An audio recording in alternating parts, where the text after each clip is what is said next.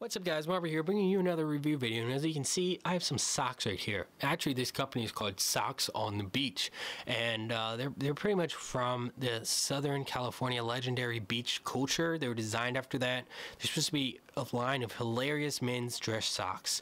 So these are dress socks, they're very nice and I had to say they're like one of the most comfortable socks I've ever worn. And I, I love socks. I have so many different brands, different types. I have dress socks, you know, casual socks, Jordan socks, you know, workout socks, whatever you name it. I have them all. These are one of the most, I would say, the most comfortable I have out of everything else.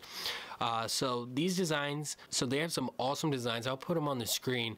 Uh, I only have one pair right now, which is the boats and hose. You know, and they say if you like sailboats or garden garden hose and you should buy this buy this socks i just think it's pretty funny. I really like it. It kind of looks like golf clubs to be honest. So it kind of looks like sailboats and golf clubs.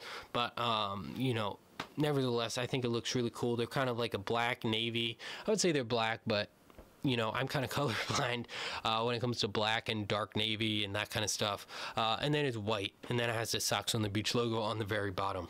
So what makes this so different and why I think it's so comfortable is because they're made of bamboo fibers. They're stronger, softer, and cooler than other socks.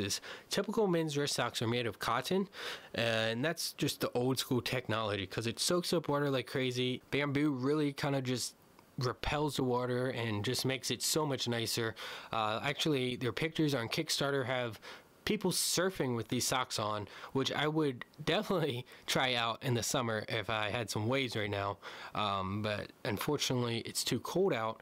Uh, but I definitely still wear these these socks everywhere I go, and I just love them. So I definitely recommend checking them out. Uh, they need some help on their Kickstarter to, to fund this project. Buy a nice pair of socks, maybe get a pair for your friend.